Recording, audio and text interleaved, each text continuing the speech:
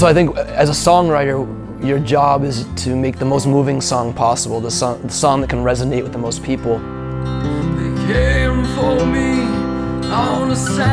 But they're hopeful songs, although they have sometimes sad stories, they're, they're all hopeful. Um, they're people overcoming this or overcoming that, or that really the characters are usually people that I find inspiring.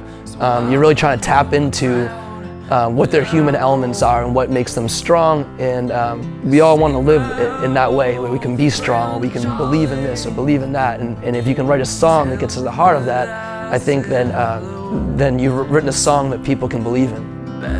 still is my fishing rod, and I still expect it back by fall. Well, I think it's, it's sort of, uh, I'm tipping my hat to uh, the underdog the person who wasn't necessarily dealt the best hand, um, but they deal with it. They, they, make, uh, they make it work. And sometimes they do things that people can't understand to, get, to survive. And um, sometimes those have uh, bad consequences.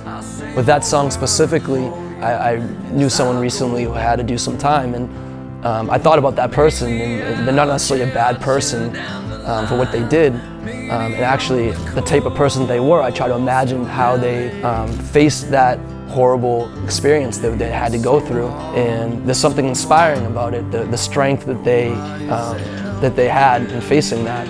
And I was trying to get to the heart of that character.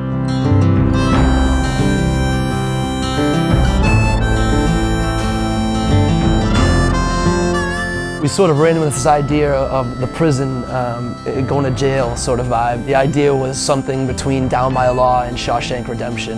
Adam Cohen um, and Joaquim uh, Portocarrero, who, who, did the video, they did an absolutely great job of finding places that sort of fit the time period and uh, the aesthetic of the video. The bridge and also the cottage, they were both in upstate New York in the Hudson Valley area.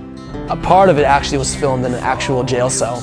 Um, and the way we were able to get that jail cell was a friend of mine, she got a DUI and she, uh, while she was being held in the holding cell, she started talking up the lieutenant. And uh, she told him, hey, my friend's a musician, he's looking to make a video. And he was a really nice guy and he let us come in and film. So we really lucked out and we were able to get some great footage of an actual cell.